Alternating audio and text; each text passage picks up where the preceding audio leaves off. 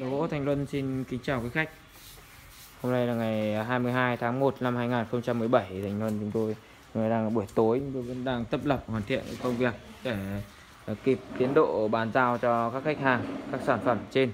Và trên màn hình quý vị đang thấy đây là hai bộ bàn ghế Minh Quốc Nghi, cột 12 mỗi bộ gồm có 6 món và ờ, hai bộ này đã có chủ nhân, đó chính là một anh khách hàng ở Trương Mỹ, Hà Nội và một anh khách hàng là anh Oanh anh ở uh, làng cổ Đường Lâm Sơn Tây. Hà Nội anh anh có bộ gồm 6 món và một chiếc kệ tivi cộng với lại cả một uh, chiếc giường um, chám mai bằng gỗ gụ. Còn một anh khách hàng ở Trương Mỹ thì là có bộ Minh Quốc Nghê. 6 món này gồm một bộ ờ, sập thập điểu quần mai. Và chúng tôi đã giới thiệu trong cái clip trước ở phía này hệ thống gỗ thợ chúng tôi vẫn đang tập lập hoàn thiện rất nhiều các công đoạn. Ở đây là bộ minh nghe gỗ hương vân của anh Giang ở Bắc Linh. Và một bộ minh quốc đào. Minh quốc đào này của anh à, một anh khách hàng anh ở phủ lý Hà Nam nhưng mà anh mua về uh, Thanh Hóa. Và còn một bộ minh nghe nữa của anh Vinh ở Hà Nội và còn rất nhiều các sản phẩm khác mà chúng tôi đang ờ, trong quá trình hoàn thiện. Ờ, rất nhiều.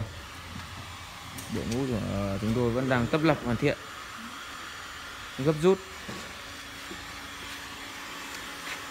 Công việc của chúng tôi lúc này là phải nói là à, đến phút chót rồi. Còn vài ngày nữa là đến Tết Nguyên đán rồi.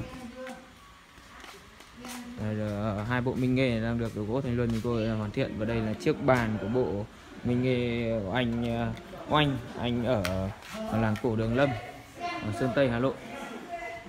Ừ, rất nhiều và một bộ của anh khách hàng trương mỹ.